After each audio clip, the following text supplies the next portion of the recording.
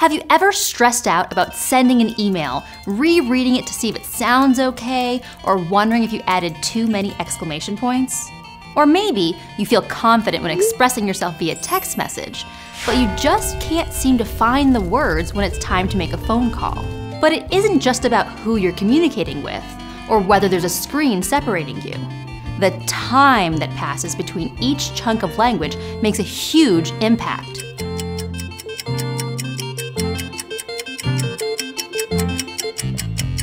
See? I'm Dr. Erica Brozovsky, and this is Otherwords.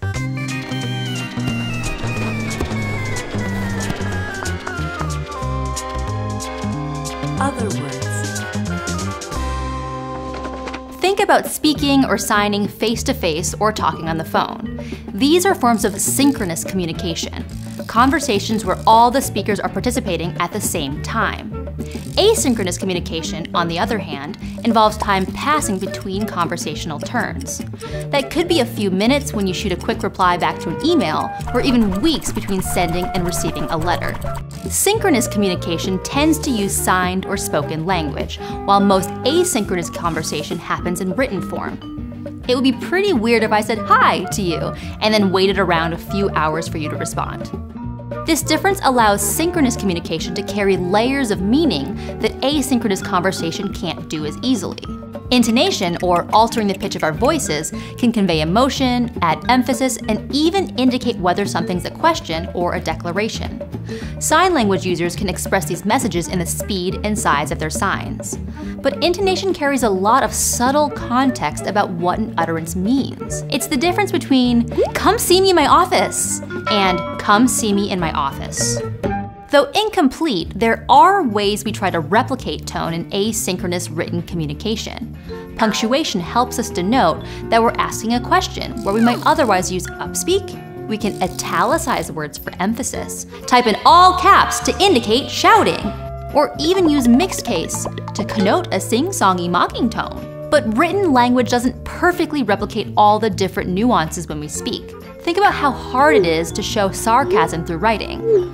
And when we don't all share the same ideas about how to visually represent tone, well, that's why some people still send those ominous text messages with a period at the end. Synchronous communication also gives us immediate feedback when our conversation partners use back channeling. Nodding, saying, mm hmm, okay, or really, while other people are speaking gives them real time confirmation that they're being heard and understood. And speaking of nods, synchronous conversation is full of gesture. The ways we move our bodies, especially our hands, when speaking can add emotional context to the words we're saying and even convey ideas not easily expressed through speech, like when you're trying to come up with a word, but you can't quite. you, you know. Some gestures, which linguists call emblems, carry meaning without us having to speak at all, like a thumbs up for yes or shaking your head for no.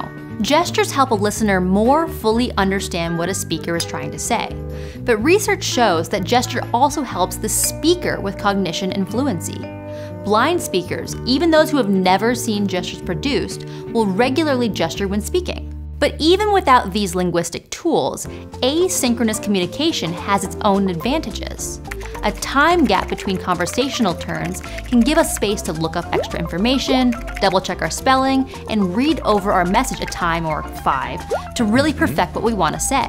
Asynchronous communication can also do away with filler words, those ums and likes and you knows we use when we're trying to complete a thought. Fillers serve a useful linguistic purpose. When we're thinking but not done speaking, they let others know that it's still our conversational turn. But since no one is likely to interrupt you when you're writing a letter, there's no need to fill the pauses while you find the words you're looking for. With all these differences in synchronous and asynchronous communication, it's no wonder that sending an email to your coworker feels so fraught. Especially in this always online, work from home era, written communication doesn't feel quite so asynchronous anymore. Text messages may technically be asynchronous, but if you've ever been left on read, you know that we send texts with the hope of getting quick replies and even having exchanges in real time. Same thing with instant messaging apps like Slack, Teams, or Discord. If your boss slacks you a question instead of sending it in an email, it probably feels like they want an immediate response. Conversely, supposedly synchronous forms like cell phone and Zoom calls tend to have a slight delay that can throw a wrench into the normal conversational flow. People are more likely to talk over each other, and backchanneling and filler words are less precise to use, which means So that the ways that. Sorry, Oh, you sorry. go No, no, you go ahead. Oh, okay. I was just gonna say that the ways we communicate start to blend our toolkits for asynchronous and synchronous communication. Take the length and formality of conversational turns. Some people message in long paragraphs with full punctuation, while others send off several quick bursts of text in a row. Text reactions like pinning an exclamation point or a haha to another person's message can also function as a form of backchanneling. According to linguists Lauren Gawne and Gretchen McCulloch, we're even using emojis as a form of gesture, both literally like the thumbs up, clapping hands, or fingers crossed emoji, and in more figurative and innovative ways. We don't have an IRL equivalent of the upside down smiley face or a string of flame emojis, but they have broadly understood meanings in text form. As McCulloch writes, these emoji don't stand in for individual words. Instead, they make writing feel a lot more like talking. We can take some of these semi synchronous tools into other contexts where they can be useful. Think voice notes, which add intonation back to asynchronous text conversations, or a Zoom call, where instead of taking yourself off mute just to say mm hmm, you can now react with an emoji. As the tools and timelines we use to communicate change, the ways we use language are evolving right along with them. And while we've all felt the friction of switching between synchronous, asynchronous, and semi synchronous tools, we're developing our linguistic toolkits to be able to communicate more clearly all the time.